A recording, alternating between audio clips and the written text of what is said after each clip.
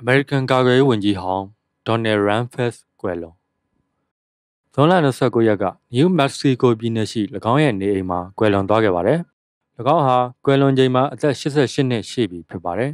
။ဒေါ်နယ်ရန်ဖက်ဟာအမေရိကန်သမ္မတဟောင်းဂျော့ W. ဘုရှ်လက်ထက်ကာကွယ်ရေးဝန်ကြီးအဖြစ်တာဝန်ယူခဲ့စဉ်ကာလအတွင်းအာဖဂန်နစ္စတန်နဲ့အီရတ်ကိုဝင်ရောက်တိုက်ခိုက်ခဲ့တဲ့စစ်ပွဲတွေကို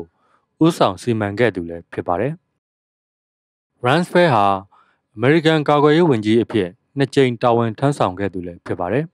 ။ဆယ်စုနှစ်6ခုကျော်ကြာတာဝန်ထမ်းဆောင်မှုအတွင်းသူ့ရဲ့သူမတူတဲ့ပြီးမြောက်အောင်မြင်မှုတွေအတွက်သမိုင်းမှာသူ့ကိုအမှတ်ရကောင်ရနေပါလိမ့်မယ်။ဒါပေမဲ့သူ့ကိုအကောင်းဆုံးသိရှိထားခဲ့သူတွေအတွက်သူ့ရဲ့ဇနီးမိသားစုမိတ်ဆွေတွေအပေါ်ထားတဲ့သူ့ရဲ့ချစ်ချင်းမေတ္တာတွေကိုမိမိတို့အမြဲအမှတ်ရနေပါပါ။နိုင်ငံအတွက် သူ့ဘဝကိုနှစ်မြုပ်ပြီးထမ်းဆောင်ခဲ့တဲ့သူ့ရဲ့ဂုဏ်သိက္ခာတို့ကိုမိမိတို့အမှတ်ရနေမှာပါလို့ရန်ဖက်ရဲ့မိသားစုကထုတ်ပြန်ချက်တစ်စောင်ထုတ်ပြန်သွားခဲ့ပါတယ်။အလားတူရန်ဖက်ဟာထက်မြက်တည်ကြည်ပြီးအင်မတန်တော်တဲ့ပုဂ္ဂိုလ်တူဖြစ်ကြောင်း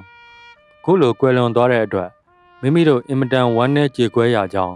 အမေရိကန်သမ္မတဟောင်း George W. Bush ကလည်းပြောသွားခဲ့ပါတယ်။